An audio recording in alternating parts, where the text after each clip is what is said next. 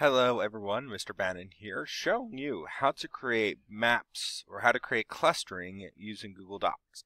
Now, maps and clustering can be very useful to helping plan out your essay, sometimes better than outlines. And here's why. Some people are better visually. They can better organize their thoughts if they can see it visually in front of them, if they can figure out what the main idea is and figure out everything that branches off of it. I'm going to show you how to do that. And here's what you do. To create your map, the first thing you need to do is you need to go click Insert. Then you go down to Drawing and click that.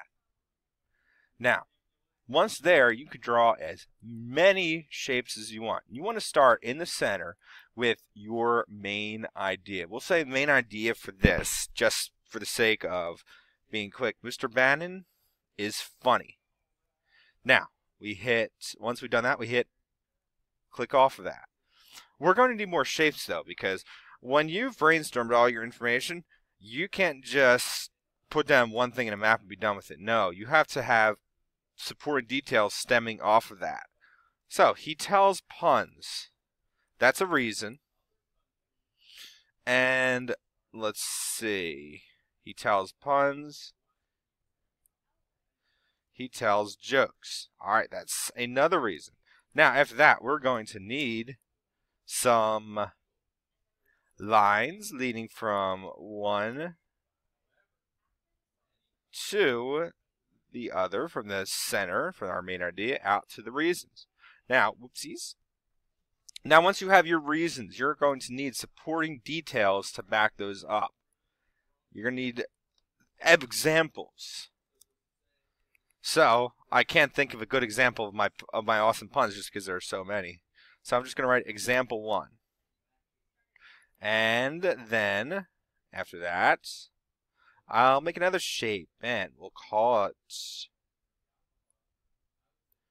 Ah, let's just say his puns are stupendous.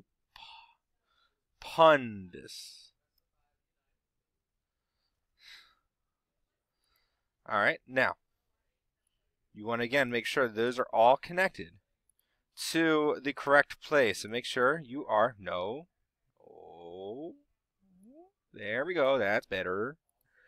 Make sure they're all going the right direction from one from your reasons to the examples to back up those reasons. All right? Now this is a good way to organize your information visually. Now do not hit save and close until you are finished all, all of your mapping because if you do that, you're not going to be able to move it around the page at all. But if you find out that you did that by accident, you can always click right there like I just did, and you can always go back into it. So let me show you again. Oops, oh no, I'm not regularly finished. I want to add something else. So all you do is just click again, and let's see, what's another good example of a pun? His puns are punderful. We draw our arrow, and we're going to draw our shape.